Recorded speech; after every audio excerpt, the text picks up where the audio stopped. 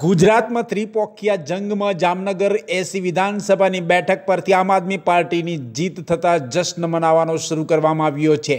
જામનગરની એસી જામજોધપુર, લાલપુર એસી વિધાનસભાની બેઠક પરથી આમ આદમી પાર્ટીના હેમંત ખવાની થઈની થઈ છે જીત. જીતનો શ્રેય આમ આદમી પાર્ટીના કાર્યકરોને, ગુજરાતના કાર્યકરોને આપ્યું છે અને પિતાજીને આપ્યું છે. ભાજપના ચિમનભાઈ અને કોંગ્રેસના ચિરાગ કલારિયાને હરાવીને આપના ઉમેદવાર હેમંતભાઈ ખવાએ જીત મેળવી છે ત્યારે તેમણે શું પ્રતિક્રિયાઓ આપી સાંભળો. આમ આમ આદમી પાર્ટીએ પણ જામનગર એસસીમાંથી ખાતું ખોલાવી દીધું છે. ગુજરાતમાં આમ આદમી પાર્ટીની જીત થતાં તેમણે શું પ્રતિક્રિયાઓ આપી સાંભળો. જનતાએ કામની રાજનીતિને પસંદ કરી છે. કોઈ પણ ખોટી અફવાઓમાં આવ્યા વગર અમે જે પ્રજા માટે છેલ્લા સાત વર્ષથી લડાઈઓ લડતા હતા એ વાતને પસંદ કરી છે અને આજે જામજોધપુરમાં આમ આદમી પાર્ટીના તમામ કાર્યકર્તાઓની મહેનત રંગ લાવી રહી હોય એવું લાગી રહ્યું છે.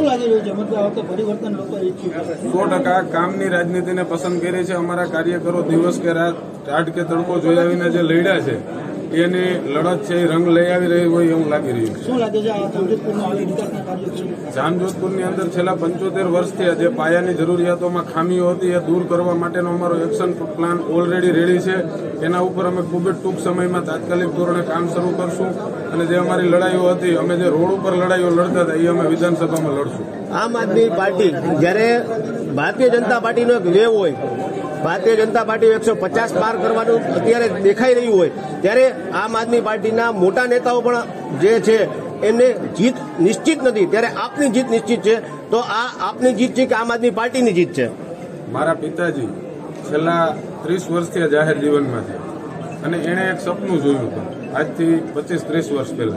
આજે મને ધારાસભ્ય કદાચ બનવા કરતાં પણ સૌથી મોટો એ વાતનો આનંદ છે કે કોઈ પણ દીકરો એના બાપનું સપનું પૂરું કરે. મારા પિતાજીનું એક સપનું હતું, ધારાસભ્યનું એ સપનું કદાચ આજ પૂરું થવા જઈ રહ્યું છે. અને જ્યારે મા બાપના પ્રેમ લાગણી અને કાર્યકરોની પ્રેમ લાગણી હોય ત્યારે એકાઈ લહેર કે કંઈ પણ કામ આવતું નથી. અમારા કાર્યકરો જે લડાઈ લડ્યા છે. એવું કહી શકાય કે અમારો એક એક કાર્યકર ભાજપના સો સો કાર્યકર ઉપર ભારી હતો. એ રીતની લડાઈ લડ્યું આમ આદમી